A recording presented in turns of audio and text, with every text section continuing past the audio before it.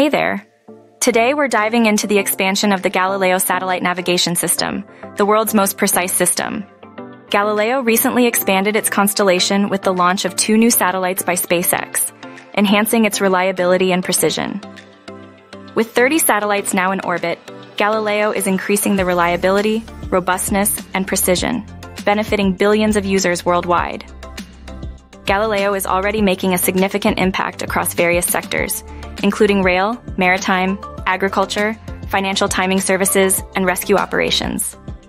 It's integral to our everyday lives, from finding our way to supporting search and rescue activities. The expansion doesn't stop there. The system is set to increase its capabilities with the launch of the Galileo second generation, G2 satellites, expected in 2026.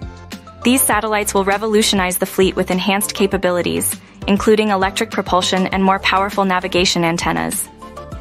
Galileo, funded by the European Union and managed by the European Commission, is truly revolutionizing satellite navigation and making a difference in the lives of billions of users worldwide.